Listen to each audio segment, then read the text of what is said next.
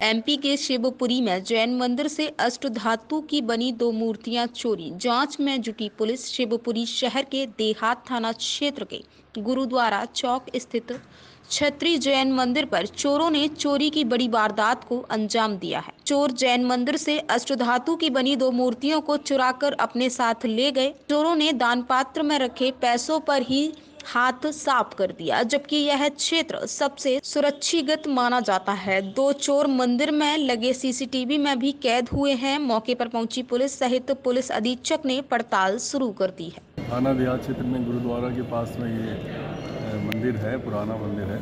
और इस मंदिर में अभी जब सूचना मिली थी सुबह तो सारे पुलिस अधिकारीगण और हमारी ऑफिसर टीम डॉग टीम सभी यहाँ पे आई है हम हमारी सारी टीमें लगा के देख रहे हैं। अभी जो जानकारी मिली है, उसमें जो नीचे का इसका पोर्शन है, उसमें जो मूर्तियाँ रखी थी, करीबन वो नौ इंच की मूर्तियाँ हैं।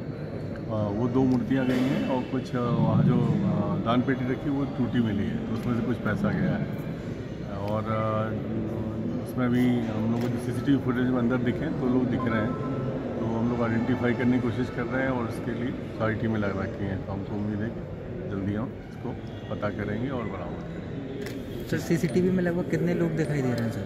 दो लोग दिख रहे हैं अभी इसमें जो लग रहे हैं कि दो लोग हैं और वो अंदर आए और मूर्ति ले उठाई उनमें से। तो सी सी अंदर लगा तो उसमें से भी मूर्ति उठाई। जो मूर्तियाँ चोरी गई हैं वो सोने की हैं या सोना की नहीं ये अष्ट अष्टधातु की हैं ये उन्नीस सौ आठ के दो हज़ार आठ के आसपास ये लगाई गई थी। तो उन, उनका भी हम लोगों ने लिया फोटोग्राफ वगैरह तो उससे कुछ अंदाज लगेगा कि कहीं पर ये डिस्पोजल करते हैं।